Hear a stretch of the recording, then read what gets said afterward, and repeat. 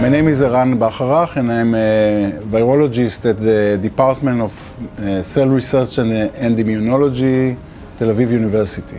I did my postdoc uh, at uh, Columbia University, New York.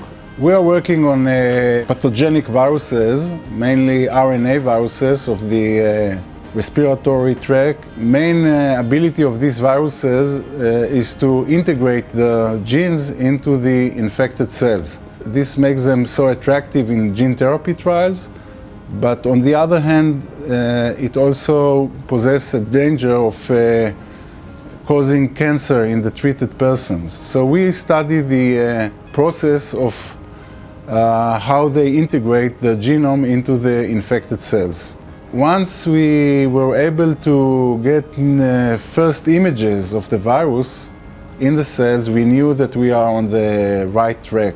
There was an open question about uh, why some defects in the virus, in the murine leukemia virus, results in a, a, phenotype where the virus cannot infect the cells. And we were working about this problem for two, three, four years.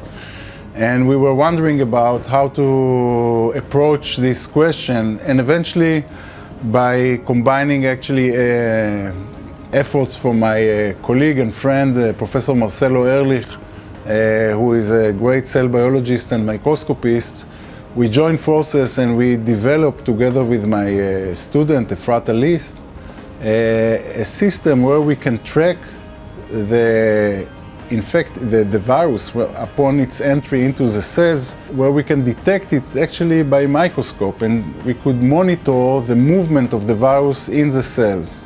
So this gave us the first strong, strong hint that we understand now what's the function of this protein and how this virus uh, do its integration or create the integration or integrates its genome into the chromosome of the infected cells.